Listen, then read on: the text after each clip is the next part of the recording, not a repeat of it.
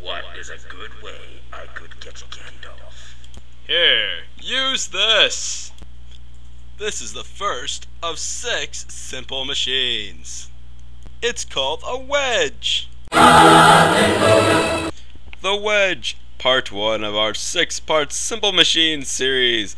A wedge is a simple machine used to push two objects apart. A wedge is made up of two inclined planes. These planes meet and form a sharp edge, and this edge can split things apart. Some examples of wedges are knives, axes, forks, and nails. Oh, that's not right. You want to get your revenge, Gandalf? Okay. Well, here's simple machine number two. The lever. The Lever, part 2 of our 6 part Simple Machine series. A lever is a border bar that rests at a turning point. This turning point is called the fulcrum. An object that a lever moves is called the load. The closer the object is to the fulcrum, the easier it is to move. Some examples of levers are bottle openers and crowbars. You don't know how to use it? Let me help.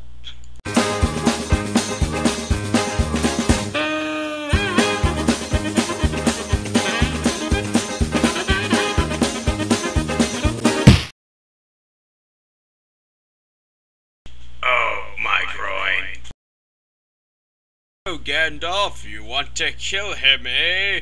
Well, why don't you hang him using this device?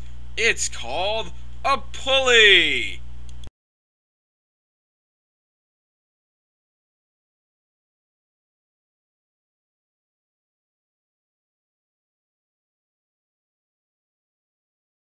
The pulley, part 3 of our 6 part Simple Machine series. This simple machine is made up of a wheel and a rope.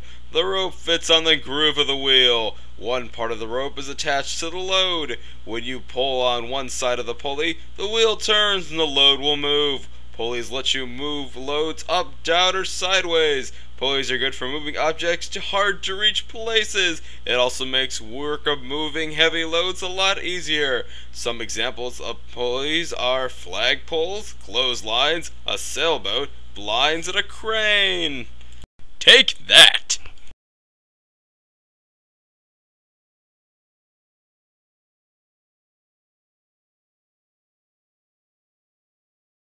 Having trouble, Gandalf? Here! I'll give you a wheelbarrow, which just so happens to have our fourth simple machine already attached to it. The Wheel and Axle, part 4 of our 6 part Simple Machine series. The wheel and axle is another simple machine.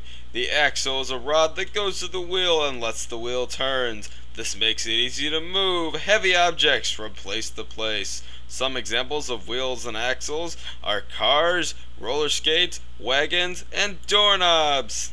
It seems you are using an inclined plane. The inclined plane, part 5 of our 6 part Simple Machine series. An inclined plane is a flat surface that is higher on one end.